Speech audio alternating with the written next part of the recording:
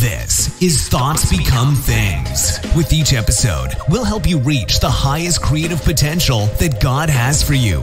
With your host, a teacher, life coach, a dream coach, and motivational speaker, Jeremy Lopez.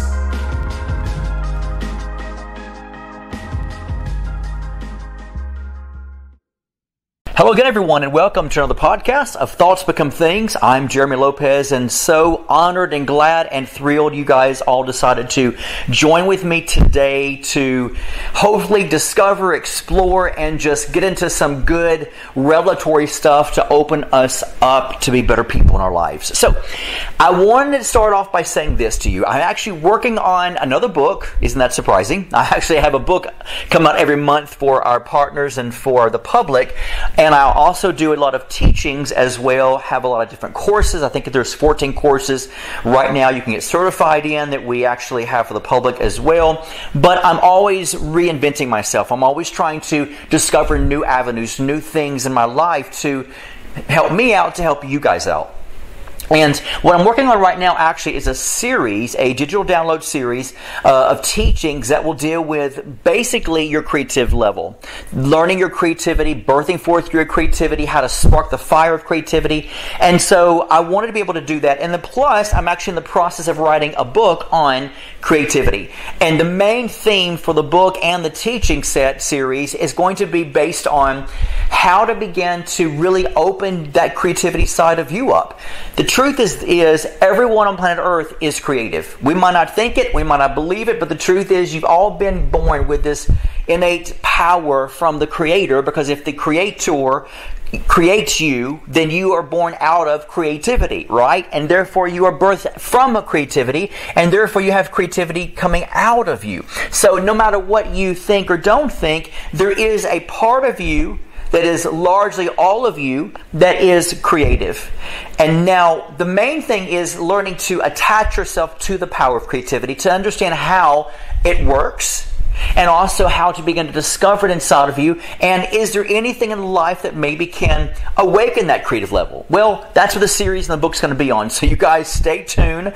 Give me a couple of weeks, and you guys will have the, the uh, teaching set series already ready for you. It'll be on the homepage of IdentityNetwork.net. I'm going to encourage every one of you to get it. You might say, What's the name of it? What's the name of it? Trust me, you'll be able to see it plain as day. All right, on the website.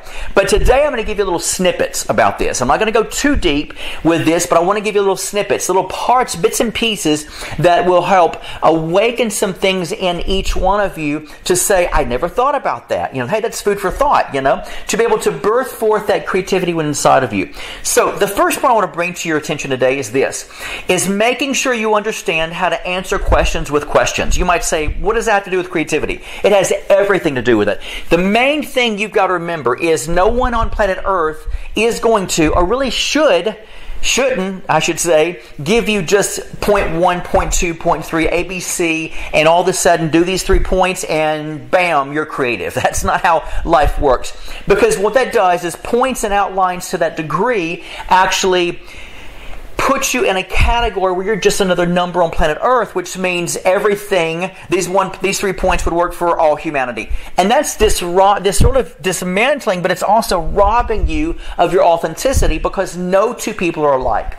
No one has the power to really understand someone else's awakening. That's the main thing I like to teach on in every book, every teaching set, every course that I have, and that is you are authentic. Don't allow anyone to ever rob you of your authenticity or categorize you as a number because they might not say they're doing it, but anyone who, who sort of points you and leads you to a direction of, you know, three steps to healing or three steps to creativity or three steps to discovering yourself really doesn't know what they're talking about. And I'm not saying I'm not being bad or ugly. I'm grace, grace, grace. But the key thing is if you if we begin to believe in that type of theory, then what happens is we become nothing more than mechanical. We become nothing but robots, and, and every robot would be would have would be stripped of authenticity, and which means that all it all it takes for every robot to be turned on is press one button on every one of them, right?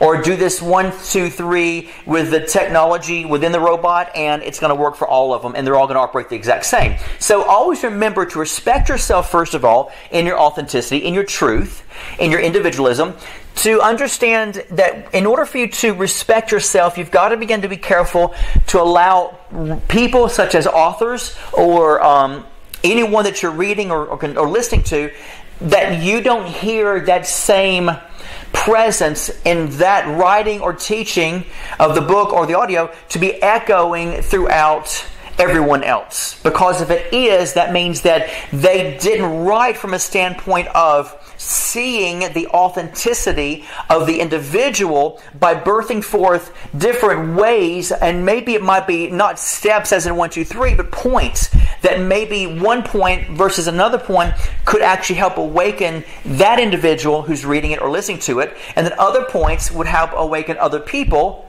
where the other first point didn't wake, awaken them.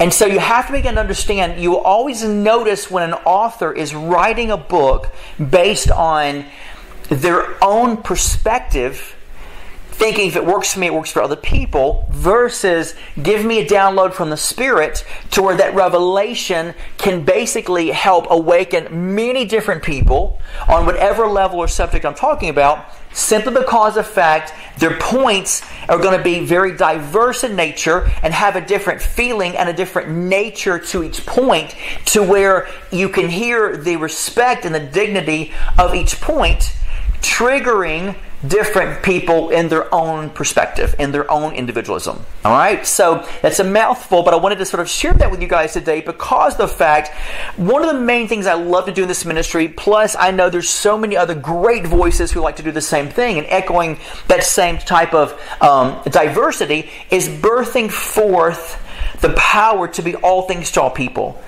And knowing that, like what Paul said, helps other people to really get into that zone of seeing and respecting people. You know, when we deal with things such as law of attraction, grace, peace, mercy, joy, um, you know, anything from sadness to anger. I mean, think of the emotions. Think of emotions. Think of universal laws. Think of biblical principle laws. You know, it does work for the just and the unjust, the Bible says. It rains upon the just and the unjust. However, if you think about that, you have to also be able to say that what makes me sad might not make you sad. If I watch a sappy, Will said chick flick movie, you know what? Because I'm a guy, I could find myself bawling my eyes out. To where another guy can say, Oh my God, not that chick flick stuff again. So, did it affect people differently? Yes. Is it based on who they are and how they think and how they're raised and how they look at life? Yes. And so you have to begin to realize you can't say this one movie, this one TV show, this one book is going to work the same and trigger the same emotion within humanity because it's not. And therefore, that's why you see movies and books that who actually now will target a wider audience because of the respect of the individual of each person within planet Earth. And so you can always hear the voice of or echoing of limitational writers and listeners and or you know and, and yes it is listeners too. And and and that type of limitation even within movies and TV shows versus someone who is very creative and out of the box that can actually target a different group of people on planet Earth. Now, I'm going to give you guys a couple of points and a couple of things that sort of God put in my spirit that will help you guys in a little bit of, of shifting your awakening your your uh, creativity. But I want to share one thing with you that will help you understand what I'm what I'm talking about. If you look at people such as, now many of you are going to be like, oh, I love her, or I don't like her, you know. But think about people such as Lady Gaga. Now, everyone has either heard of Lady Gaga, or either you've seen her, you know her, you know her music, you know her movie, you, you've either said, I've heard that name before, right? Well, let me explain to you who she is.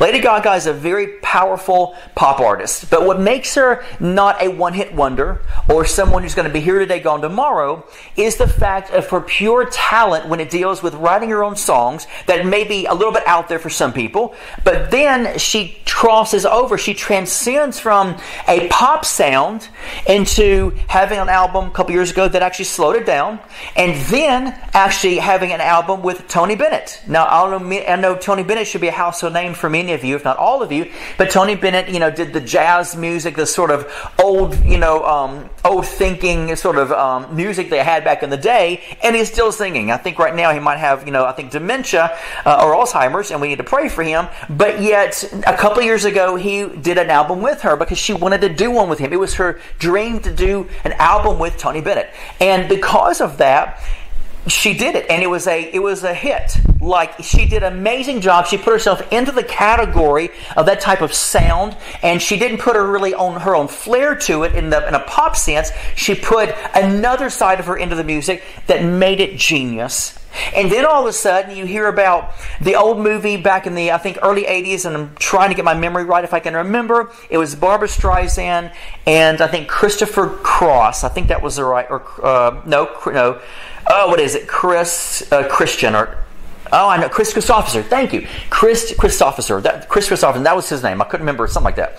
But anyway, but I remember seeing the movie when I was a kid, and they wanted to remake it, right? And so because they remade it, guess who they had? They had Lady Gaga starring in the role that Barbra Streisand once starred in, right?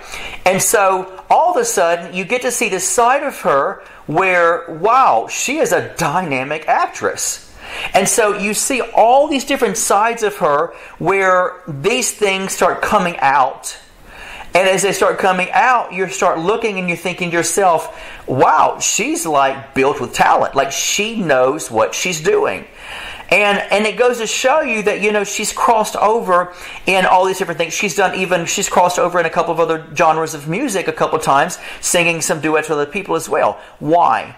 Because of the fact that what happens here is you get people that be able that are able to understand how to begin to transcend and sort of cross pollinate into different genres in, in, of music and of acting. Why? Because they know there's more to them. Now, whether you like Lady Gaga or not is you know it's okay if you do or don't. I personally like her, but the key thing is you you have to give her credit. She's very talented. She's very talented. And I've always said I respect people who really write their music and really, you know, orchestrate it, put it together, you know, do their, orchestrate their videos, you know, they, and then plus they transcend over to different music and movie. I mean, it's people like that that you know, they're, they're tapping into something, truthfully, that every single Christian should, pardon my language, but be ashamed of, that we're not. Because it's that place where they're doing this, and yet we should be ten times wiser than, than, the, than the, uh, the children of this world, right? And here's where here's oh by the way, the guy was Kris Kristofferson.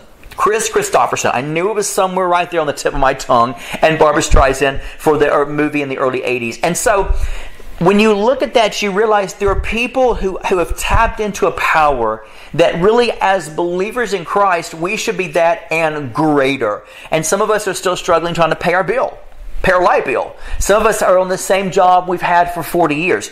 And we understand sometimes that's life. However, I want to help awaken things in you to where you realize, you understand that there are many sides in you that are creative. Okay, and so I'm going to give you just a few points today, literally a few points today, to where you can be jump started until this series here comes out in the next couple of weeks. All right. And so, this is what I want to start with today that will help each one of you. The number one thing that I want to start with is this give people permission to fail. Give people permission to fail and reward failure. Now, think about what I just said. You're like, I'm not going to reward failure. But let me tell you something. When you're trying to tap into your creative source, the creative power in you, you have to begin to realize that failure to one might not be failure to another. Okay? What that means is this when you do quote unquote fail, give yourself permission to say it's perfectly fine because even within a clay, if you take a mold of clay, for example, or let's just say you take clay, and like Jer- Jer- book of Jeremiah talks about the potter being, being God, putting on the potter's wheel, taking that clay, you know, uh, turning into a masterpiece. Well, you have to think about the fact that when you take clay, no matter what, you, if you throw it against the wall, if you just sort of play around with it for a minute, no matter what you do when you touch it, it's going to take on a different form. And because it's taking on a different form, that form could be to someone saying, "Oh my goodness, I know you didn't mean to, but that looks like a cat." You know, "Oh my goodness, look, that looks like a leg." You know, when you sort of squeeze it over here, and, and you know, and uh, you know, in the uh, with the clay. Oh wow, look at this. That looks like a nose. You know, that looks like a plant, or that looks like a blob. the truth is, people are going to have different perspectives of definitions of even something that looks like, but it's nothing more than just a blob. But guess what? A blob still has its own definition. And so when you look at things and you say to yourself, you know, giving permission to fail means that I didn't really fail. It just, it's not exactly what I thought it could turn out to look like. However, in this state that looks like this situation of what I've done looks like it's failure, within the failure mentality, I can shift it around to see the glass half full versus half empty. I can shift it around and begin to discover the beauty of redefining it to see beyond the sight of the natural eye and give into the spirit realm and see, have an eye to see and an ear to hear, to find something that I could not see before. Because you have the power to create, and because you have the power to create, you can create an image of that clay of whatever it is you want to look, and whatever it is it needs to look like. That way, you're not coming hard yourself, you're giving yourself grace, and also you're realizing that, you know what, did I really just fail? Because what if I did reward what I consider failure, but what if my reward is in this quote unquote not failure mentality or way of thinking, but what if I'm rewarding something that I've created and, and, and didn't even intentionally mean to create this form? Wow, praise God. I just created something that looks like blank, looks like A or B or C, looks like blah blah, right? Whatever you want to call it. And so, is there really such a thing as failure? Or is it basically just a situation that has been turned into something that of a form you didn't expect it to be and to look like or be into, but yet guess what? What you see, other people will see something totally different in everything.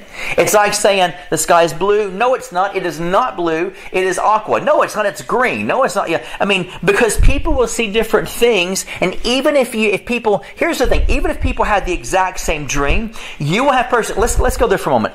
As a dream interpreter, I interpret dreams every day, much less do prophetic readings and words all day long. I have for the past thirty years, and so I've I've studied in dreamology and everything else. So I understand the process of things, what to look for within the foundation, the groundwork of the subconscious of the dream. So, with that being said, if you gave, for example, four people, if it were possible, if it were possible for four people to have the exact same dream, and you and you say, write down the dream when you wake up.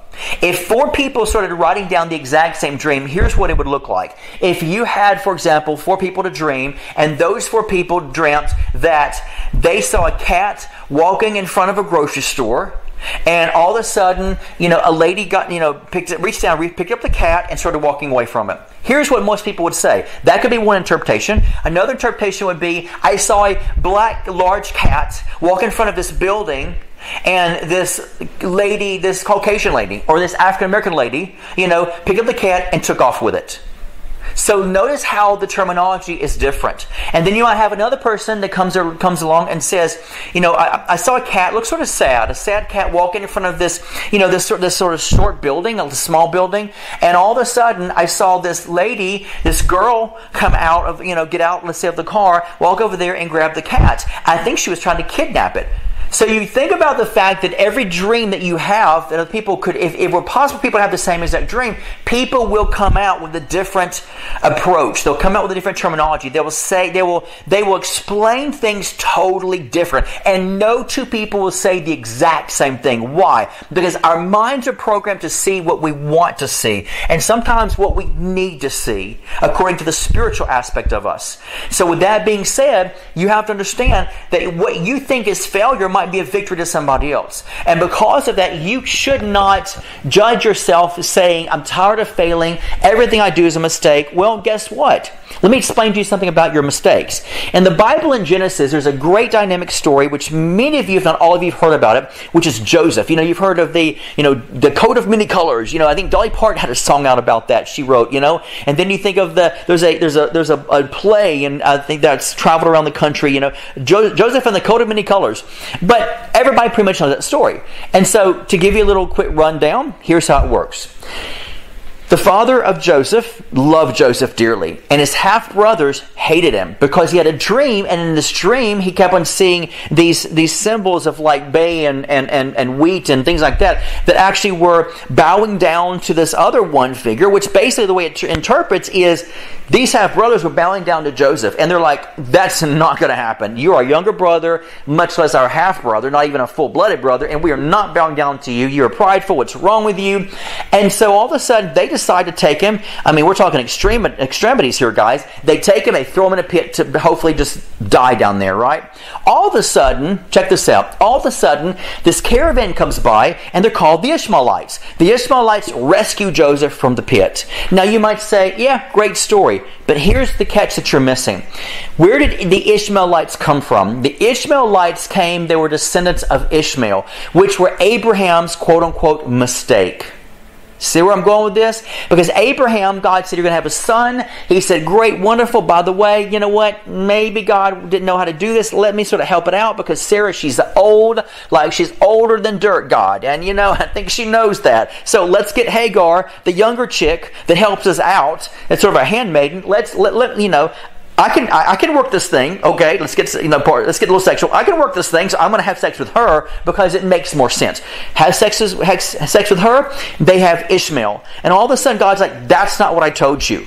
You know, that's not how it's supposed to work. You know, the old saying, hey, that's not how this works. That's not, not how anything, all this, any of this works.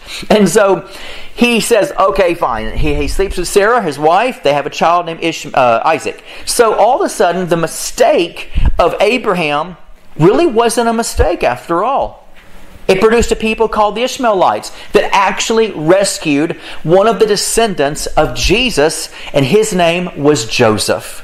So if it had not been for Abraham's mistake, Joseph would have probably died. Now we know God would have made a way for someone else to probably rescue him because he was part of the, the, the bloodline, the genealogy of Christ. However, you have to be able to look at this to understand the fullness of the story, rem- remembering that Ishmaelites came from a mistake, supposedly. But yet that mistake rescued someone from death. So when you think for a moment, I've come into a place of failure, I've come into this place and that place, oh my goodness, what was me? Drama, drama, drama. Guess what? How do you want to look at it? Do you want to see it as a half full or half empty glass? How do you want to view it? Because once again, how you see it is not how the people will see it. So you don't need to judge your outcome based on your own perspective because you will miss it every time when it deals with other people how they see something. So with that being said, you have to begin to realize I am here to be creative. Now, I've got so many other points. I'll bring out one more point before we sort of close the, the podcast because I really am anxious and excited for this teaching series to come out for all of you to be able to look. I've, get, I've got about 30 to 40 different points and, and discuss those points to the fullest to where it's going to grab a hold of every person to begin to say, I, grabbed, I got that, I grabbed that, I got it, run with it. So the second point I want to bring to is this. And that is what I said earlier. Answer questions with, with questions. How on earth is that creative? Let me explain to you how that's creative. The main thing you've got to do is awaken your mind and forcing it to think outside the box, correct? So here's how you do it. When someone asks you a question, you present a question back to them. Why? Because it's going to open up a creativity, a creative level in you to begin to not make a statement. It's like saying, for example, if someone says, uh, you know, well, hey, today uh, I'm going to work at 8 o'clock and I'll be, I'll be off uh, from work at 5 o'clock. How about you? Well, I could just say, and in return, I could just say, yep, same here. And leave it at that. Or I could exercise my brain to say, actually, I do. I go to I go to work at eight o'clock as well. Get off at five o'clock, and what I do for a living is X Y Z, and I enjoy my day because blah blah blah. And then you respond back by turning it around to a question to say, and let me ask you this: talking about your job, tell me the details of what you do on your job to the other person. Now you might say, well, that's a little, that's a different example for, you know, to use. It is, however, it works. Because what you want to do is within your statements, you want to be able to present a question because it forces your mind to think outside the box. Plus, when you ask a question to someone who asks you a question, you're going to continue to carry on a conversation where you will learn more. How can I learn more? Because I proposed a question to them to say, what do you do maybe on your job? Or maybe it might lead to a place where I can say, tell me in detail what you do. Hey, by the way, you know, explain to me why your company does this and this and this. Why? Because then when I respond with a question, I'm automatically going to get back something that actually is teaching me. I didn't know you did that. Wow, that sounds awesome. I didn't realize the company was that big. Wow. I didn't know the company was a multi-billion dollar industry. Wow. I didn't know the company had 50, you know, uh, plus employees. Wow, I thought it was small. So see what you, see what, where I'm going with this? When you begin to answer a question with a question, you're forcing your brain to say you will learn. You will learn of everything small and you will learn of everything big. You will begin to stretch yourself by always, always, always responding in a way where the other person is going to begin to give you substance that you will learn about of something in their life. And that's why it's good to say, How are you doing today? I'm doing great. By the way, how are you and how is your family doing? Well, you know what? We're actually doing really fine. You know, my mom just got over, you know, her cold. Oh, really? Well, that's, that's, you know, that's a good, that's a good thing she got over a cold. I hate that she had a cold. So how is your brother? Well, he's doing good too. Notice you might say, well, this conversation would be sort of blah.